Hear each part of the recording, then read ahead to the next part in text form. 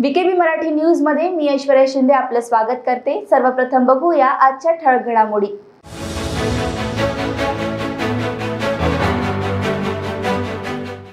National Herald प्रकरणी राहुल गांधींची ईडीने केली तब्बल नऊ तास चौकशी. आज पुन्हा राहावं लागेल चौकशीसाठी हजर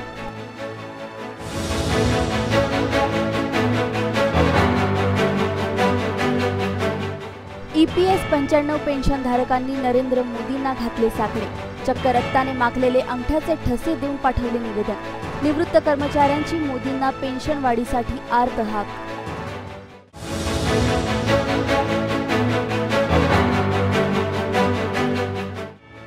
आणि राज्यातील जनतेला महावितरणाचा मोठा शॉक. विजेचा दरात वीज प्रति युनिट पाच पैसे ते पंचवीस पैशांपर्यंत झाली महाग.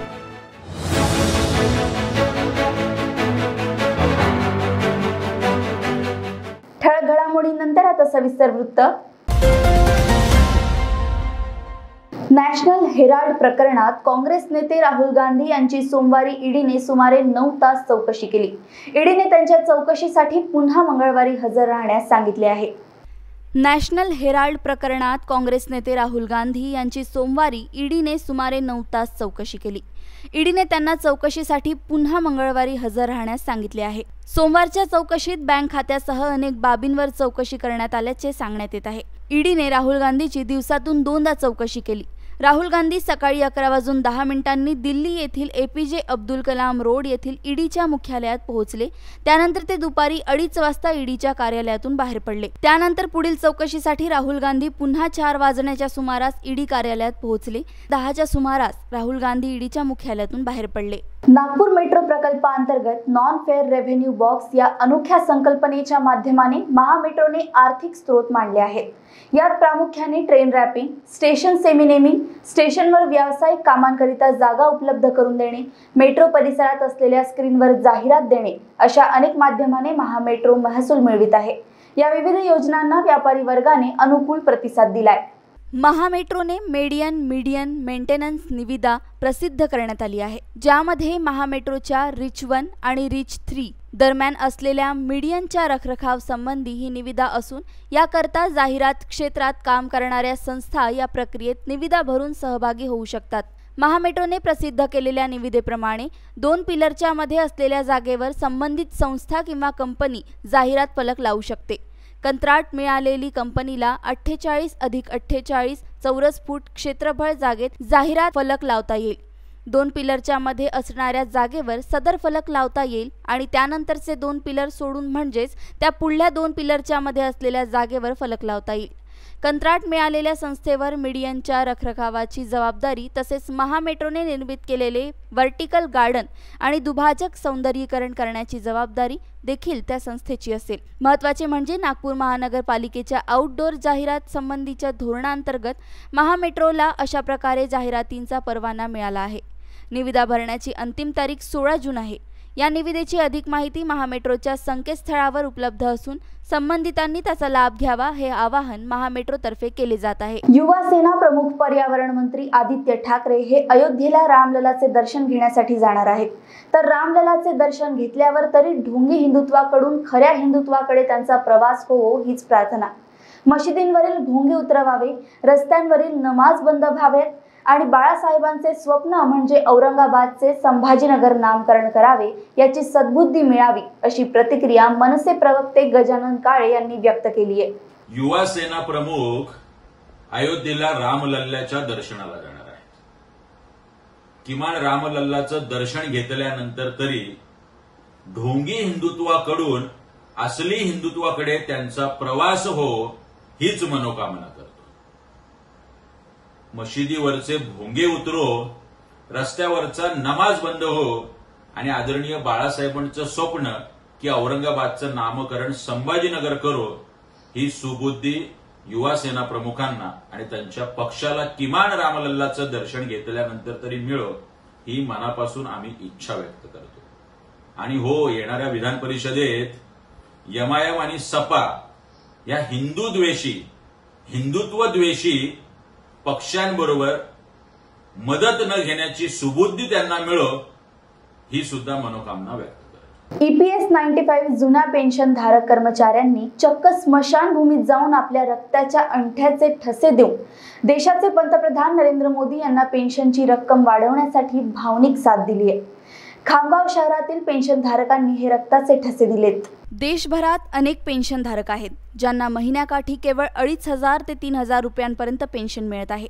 ज्यामध्ये ना घराचा किराणा येतोय ना म्हातारपणाची औषधं. गेल्या अनेक वर्षांपासून हे E P S ninety five पेन्शनधारक निवृत्त कर्मचारी आपल्या मागण्यांसाठी लढा देत आहेत. मात्र सरकार मायबाप त्यांचं ऐकून घ्यायला तयार नसल्याने आता त्यांनी हे अनोखा आंदोलनाचे हत्यार उपसले आहे. बुलढाणा जिल्ह्यातील खामगाव येथील स्मशानभूमीत जाऊन आपल्या निवेदनावर या निवृत्त कर्मचाऱ्यांनी स्वतःच्या रक्ताचे ठसे उमटवून सदर निवेदन नरेंद्र मोदी यांना ते पाठवणार आहेत. त्यामुळे देशाचे पंतप्रधान नरेंद्र मोदी यांनी यांची ही साद ऐकून त्यांना न्याय द्यावा अशी मागणी हे कर्मचारी करताना पाहायला मिळत आहे. राष्ट्रीय संघर्ष समितीचा महासचिव आहे. आम्ही सर्व या ठिकाणी जे जमलेले लोक आहे हे ई पी एस नाईन्टी फाईव्हचे पेन्शनर्स आहोत. आम्ही आमचे सर्व्हिस काळामध्ये रुपये चारशे सतरा पाचशे पाचशे एकचाळीस बाराशे पन्नास प्रतिमाहे पेन्शन फंडमध्ये जमा केलेले आहे. त्या योजनेमध्ये जे मला पेन्शन भेटते हे फक्त तीनशे रुपयेपासून अडीच हजार रुपयेपर्यंत आहे. आमचे राष्ट्रीय अध्यक्ष माननीय कमांडर साहेबांच्या प्रति मी कृतज्ञ आहे. त्यांनी पूर्ण भारतभर दौरे केले आणि आम्ही P S ninety five pensioner संघटित केला आणि संघटित करून आमचा आवाज माननीय प्रधानमंत्रीपर्यंत पोहोचवण्याचा प्रयत्न केला. माननीय हेमा मालिनीने दोनदा आम्हाला मदत केली. दोनदा प्रधानमंत्रीसोबत आमची भेट करून दिली. आमची बिलकुल रास्त मागणी आहे. आम्ही जे पैसे जमा केलेले आहे याचे फक्त व्याजमध्ये सुद्धा आम्हाला साडेसात हजार प्लस डी ए भेटू शकते. आमची पहिली मागणी आहे की आमच्या दोन लोकांना पती पत्नीला जीवनयापन करण्यासाठी साडेसात हजार प्लस डी ए देण्यात यावे. सुप्रीम कोर्टाने निकाल दिलेला आहे त्याच्या आधारावर उच्चतम पेन्शन आम्हाला देण्यात यावी आणि त्याच्यानंतर मेडिकल सुविधा सुद्धा प्रदान करण्यात यावी. ज्या लोकांना ई पी एस नाईन्टी फाईव्हमध्ये योजनामध्ये समावेश केला नाही त्यांच्यासुद्धा समावेश करण्यात यावे. दोनदा प्रधानमंत्रीने आश्वासन दिल्यानंतर सुद्धा आमचं काम आत्तापर्यंत झालेला नाही. म्हणून आमच्या भावना व्यक्त करण्यासाठी या ठिकाणी आम्ही महाकालच्या दरबारमध्ये आलेलो आहे की प्रधानमंत्री सदनामध्ये आम्ही दोनदा गेलो होतो कोणाची सदनामध्ये जाऊ? त्याचं कारण असं आहे की आमचे पाच ते सहा हजार आमचे पेन्शनधारक प्रतिमाहे मरत आहे. आणि म्हणून हे पेन्शनधारक काही दिवसांचं सर मरून जातील. मग कोणाला पेन्शन देणार तुम्ही? म्हणून आमच्या भावना व्यक्त करण्यासाठी या ठिकाणी आम्ही जमलो. महाकालसोबत प्रा प्रार्थना केली आम्ही सर्वजण. की परमात्मा आम्ही P F P S ninety five पेन्शनर्सला वाचवा. सरकारला सद्बुद्धी द्या हे आम्ही म्हणू शकत नाही आमची पात्रता नाही। काल काय दोनदा प्रधानमंत्री महोदयाने आम्हाला आश्वासन दिलेलं आहे पण दुःखाची गोष्ट अशी आहे की एक बाजूला प्रधानमंत्रीचे आश्वासन आणि दुसऱ्या बाजूला जो ई पी एफ़ ओ आहे क्रूर ई पी एफ़ ओ तो समितीवर समिती तयार करत आहे हे समिती कुठपर्यंत चालणार आहे म्हणून आज या ठिकाणी मी रक्ताने प्रधानमंत्री महोदयाला पत्र लिहित आहे जितके कार्यकर्ता आलेले आहे पूर्ण भारतभर हे अभियान चालू आहे रक्ताने पत्र लिहून आमच्या भावना व्यक्त करत आहे आम्ही सरकारच्या कोणत्या प्रकारे निषेध करून नाही राहिलो मात्र आमच्या भावना प्रधानमंत्रीपर्यंत पोहोचले पाहिजे आणि आमचे मागणे ताबडतोब मंजूर झाले पाहिजे वेळ झाली आहे एका छोट्याशा विश्रांतीची भेटूया विश्रांतीनंतर. बाय सब जानना चाहते हैं। मेरा फेवरेट कलर मेरा फेवरेट डेस्टिनेशन मेरी फेवरेट डिश पर कोई ये नहीं पूछता कि फेवरेट डिश मैं बनाती कैसे हूँ। अरे यार जिसे टेस्टी खाना पसंद है वो अच्छे टेस्ट तक पहुँच ही जाता है। सुरुचि मसाले। खाने में हो रुचि तो घर लाइए सुरुचि। अपने सपनों की उड़ान भरने की इच्छा तो हर किसी की होती है। पर पंख भी तो मज़बूत होने चाहिए। जो देता है flywheel aviation flywheel aviation academy एक ऐसा इंस्टीट्यूट है जहाँ पर एयरलाइंस एंड एयरपोर्ट हॉस्पिटैलिटी और टूरिज़्म मैनेजमेंट साथ ही यहाँ campus interview guidance by industry expert practical training at airport expert faculty personal grooming जैसे कई सारे बेनिफिट्स आप पा सकते हैं। Flywheel aviation academy one degree three job opportunities flywheel aviation academy gives you a degree और diploma with a job flywheel aviation academy 365 Gandhinagar LAD college square beside Karnataka bank Nagpur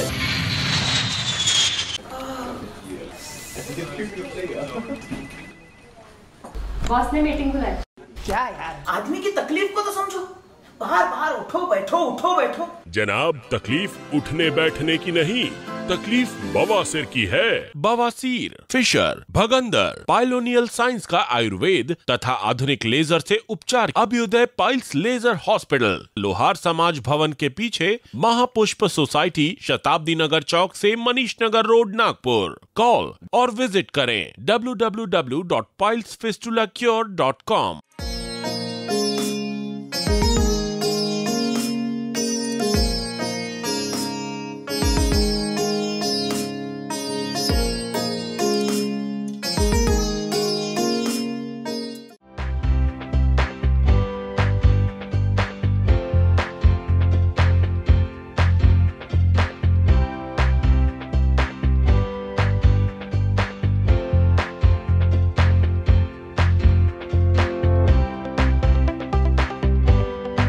विश्रांतीनंतर आपलं स्वागत. बॉलिवूड अभिनेत्री श्रद्धा कपूरचा भाऊ सिद्धांत कपूर याला सोमवारी अटक करण्यात आल्यानंतर त्याच्या वैद्यकीय अहवालात ड्रग सेवन केल्याची पुष्टी झाली आहे. त्यानंतर आता त्याला स्टेशन जामिनावर सोडवण्यात आली आहे. अटकेत असलेल्या इतर चार जणांनाही जामिनावर सुटका करण्यात आल्याचे पोलिसांनी सांगितले. सिद्धांत कपूर आणि इतर चार जणांना बोलवले जाईल तेव्हा पोलिसांसमोर हजर व्हावे लागेल असे डीसीपी भीमाशंकर यांनी सांगितले. रविवारी रात्री शहरातील एका पार्टीत ड्रग्ज सेवन केल्याच्या आरोपावरून सिद्धांत कपूरला बेंगळुरू पोलिसांनी ताब्यात घेतले होते. बेंगळुरू शहर पोलिसांचे पोलीस उपायुक्त भीमाशंकर एस. गुलेद म्हणाले सिद्धांत कपूरच्या मेडिकल अहवालानुसार त्याने ड्रग्ज सेवन केले होते. आम्ही त्याला आधीच अटक केली आहे आणि आम्ही त्याला न्यायालयीन कोठडीत पाठवणार आहोत असेही ते म्हणाले. एका गुप्त माहितीच्या आधारे पोलिसांनी रविवारी रात्री शहरातील एम जी रोडवरील एका हॉटेलवर छापा टाकला जेथे पार्टीचे आयोजन केले होते. काल रात्री आम्हाला माहिती मिळाली की एक पार्टी सुरू आहे आणि त्यांनी अंमली पदार्थांचे सेवन केले आहे. आम्ही छापा टाकून पस्तीस जणांना ताब्यात घेतले. आम्हाला त्या व्यक्तीकडे कोणतेही ड्रग्ज सापडले नाहीत. आज मुख्यमंत्री उद्धव ठाकरे आणि पंतप्रधान नरेंद्र मोदी एकाच मंचावर येणार आहेत. पंतप्रधान मोदी आज महाराष्ट्र दौऱ्यावर आहेत. देहूतील कार्यक्रम झाल्यानंतर मुंबईत येणार आहेत. यावेळी राजभवनातील क्रांतिकारी गॅलरीचं उद्घाटन मोदींच्या हस्ते होणार आहे. या कार्यक्रमाला मुख्यमंत्री उद्धव ठाकरेही उपस्थित राहणार असल्याने मोदी आणि ठाकरे एकत्र येणार आहेत. देहूतील श्री संत तुकोबांच्या शिळा मंदिराचे लोकार्पण पंतप्रधान मोदी यांच्या हस्ते होणार आहे. मोदी दुपारी पावणे दोन वाजता देहूत दाखल होणार असून मंदिराबाहेर चारशे वारकऱ्यांकडून टाळ मृदंगाच्या गजरात स्वागत करणार आहेत. देहूतील कार्यक्रम झाल्यानंतर मुंबईतही मोदींचा आज दौरा आहे. मुंबईत जलभूषण इमारत आणि राजभवन येथील क्रांतिकारक गॅलरीचे पंतप्रधानांच्या हस्ते उद्घाटन होणार आहे. राज्यातील जनतेला महावितरणाचा मोठा शॉक दिलाय. महावितरणाने गुपचूपपणे विजेच्या दरात वाढ केली आहे. यासाठी इंधन समायोजन शुल्काचा आसरा घेतला आहे. वीज प्रति युनिट पाच पैसे ते पंचवीस पैशांपर्यंत महाग झाली आहे. महाराष्ट्र राज्य विद्युत नियामक आयोगाने तीस मार्च दोन हजार वीस ला दिलेल्या आपल्या आदेशात हे शुल्क शून्य केले होते. कोळसा संकटामुळे राज्यात भीषण विजेचे संकट निर्माण झाले होते. लोडशेडिंग टाळण्यासाठी महागड्या दरावर वीज खरेदी करावी लागली. त्यामुळे अतिरिक्त खर्चाची भरपाई करण्यासाठी एफ एस सी वसूल करण्याची विनंती करण्यात आली होती. आयोगाने महावितरणाला तीन महिन्यांपर्यंत वसुली करण्यास मंजुरी दिली आहे. या अंतर्गत श्रेणीनिहाय पाच पैसे ते पंचवीस पैशांपर्यंत इंधन समायोजन शुल्क वसूल करणे सुरू झाले आहे.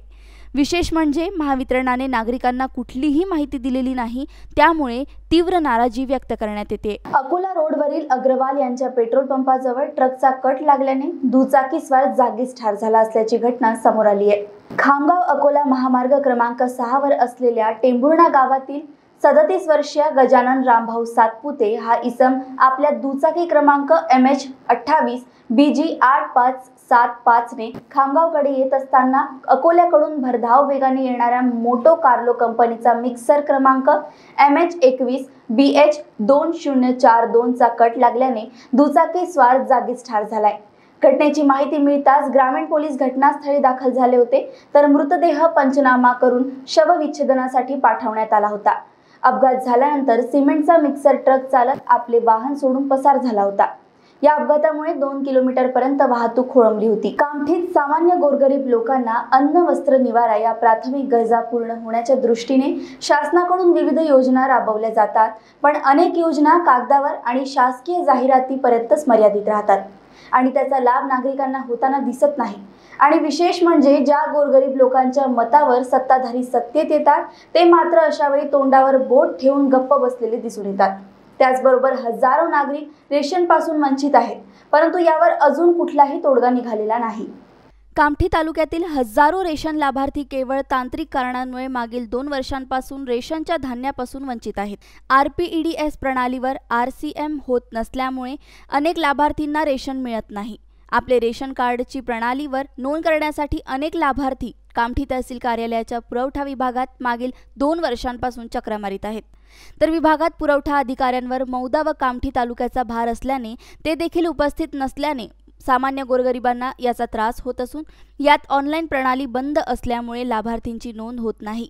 याबाबत कामठी येथील पुरवठा अधिकारी यांना विचारणा केली असता या प्रणालीच्या माध्यमातून नोंद करण्यासाठी सुमारे हजारो लाभार्थींनी अर्ज केले आहे. पण वरूनच तांत्रिक अडचण असल्यामुळे नोंद होऊ शकली नाही. या संदर्भात कामठी तालुक्यातील ऑनलाईन नोंद होत नसेल तर ऑफलाईन नोंद करून तालुक्यातील सर्व लाभार्थींना या योजनेचा लाभ मिळवून द्यावा अशी मागणी स्थानिकांनी केली आहे. विकेबी न्यूजसाठी कामठी येथून नितीन रावेकर यांची रिपोर्ट. वो काम नहीं हो पा रहा है। दो दो साल से जो हाँ दो साल से जो ऑनलाइन प्रक्रिया है, वो हो नहीं पा रही है बराबर। और वो मतलब पेंडिंग पड़ा हुआ है, जिसकी वजह से पब्लिक में रोष है। इसलिए कैसा है कि मतलब हमारी ये रिक्वेस्ट है कि मतलब मैंने यहाँ पर परमानेंट एक अधिकारी देना चाहिए, क्योंकि कामठी तहसील एक बड़ा तहसील है। और जो लोगों की समस्या है जो राशन नहीं मिल रहा है लोगों को दो साल से मतलब मैं पहले ही मतलब महामारी चालू है। और इस इस महामारी के अंदर में मतलब अगर अधिकारी नहीं रहेगा तो मतलब पब्लिक का क्या समस्या दूर कर सकेंगे ये लोग? कामटी के अंदर में राशन कार्ड का डिपार्टमेंट है। यहाँ पे ऑनलाइन की प्रक्रिया कई दिनों से लटकी पड़ी है। तो क्या दिक्कत हो रही है क्या समस्या होती है जब आप आते हो यहाँ पे? साहब मैं माजी नगर सेवक हूँ। लगभग दो साल से अनाज लोगों को गरीब लोगों को मिल ही नहीं रहा है। अभी बोलते हैं वो ऑनलाइन सेवा चालू है। लेकिन वो काम करती ही नहीं है। मैं अभी भी लाया हूँ दस बारह राशन कार्ड। लेकिन मालूम नहीं, पहले बीस पच्चीस रुपए लेते थे, कर देते थे वो ऑनलाइन। लेकिन अभी दो साल से लगभग बंद है। गरीबों के साथ बहुत बड़ा अन्याय है, ये होना चाहिए। मैं बार बार बार बार कामड़े बाबू और बाबू लोगों, शिंदे साहब से बोलते रहता हूँ। तो लेकिन वो बोलते, ऊपर से ऑर्डर नहीं है। कभी बोलते कि भाई ऑनलाइन प्रक्रिया चालू है, लेकिन उसके अंदर में वो नहीं है, ना ये नहीं है, ना वो नहीं है। बड़ी मुश्किल है गरीबों के लिए, बहुत तकलीफ़ वाली बात है। ये प्रक्रिया अनाज देने की चालू करना चाहिए। ये, ये हमारा जितने भी बड़े नेता है सरकार से। ऑनलाइन के लिए क्या क्या डॉक्यूमेंट मांग रहे हो? डॉक्यूमेंट्स के लिए बारह डॉक्यूमेंट्स मांगते हैं ये लेकिन आदमी बारह डॉक्यूमेंट्स देने के बाद भी प्रक्रिया पूरी नहीं हो रही नहीं हो रही है। एक तो पचास पचपन हज़ार रुपये का वो मांगते हैं। इनकम सर्टिफिकेट जो कि पटवारी देने को ही तैयार नहीं है। लाने के बाद? लाने के बाद भी वो यही टाल मटोल करते हैं कि भाई हमारा ऑनलाइन ही बंद है। क्या हाल हो रहे हैं इसके कारण? अरे गरीबों को बहुत तकलीफ़ हो रही है। जिसको मिल रहा है मिल रहा है। बाकी यानी हमारे कामठी शहर में करीब तीस परसेंट ऐसे लोग हैं जिसको अनाज नहीं मिल रहा है। तर आता विकेबी मराठी न्यूज़ मध्ये एवढंच. पुन्हा भेटूया काही नवीन घडामोडींसह. बघत रहा विकेबी न्यूज़. नमस्कार.